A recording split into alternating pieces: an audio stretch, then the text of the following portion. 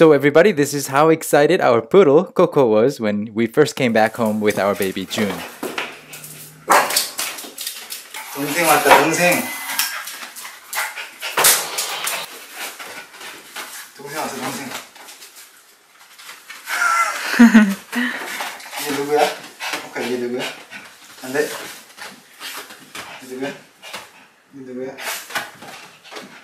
앉아 누구야? 오카야 동생이야 앉아 동생 뭐야? 나 말고 준이 봐야지 준. 효과야 준. 준. 준. 산준.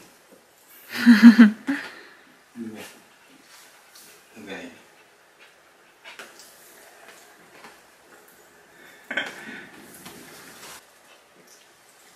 네 앉아 앉아 효과 앉아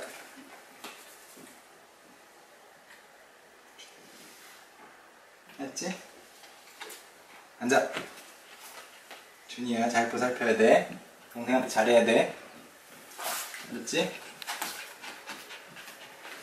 응?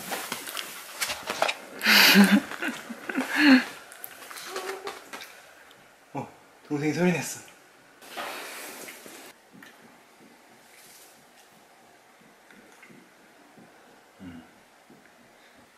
동생? 사람 아기 처음 볼걸?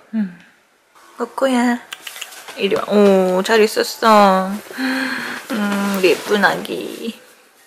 익숙한 냄새지? 전에 나한테서 났던 냄새지? 앉아.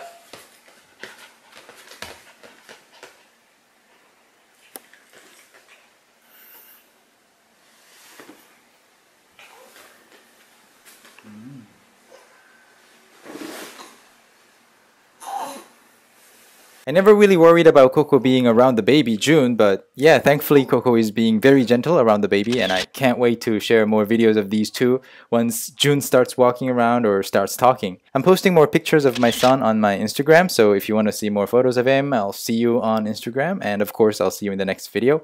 Thank you for watching.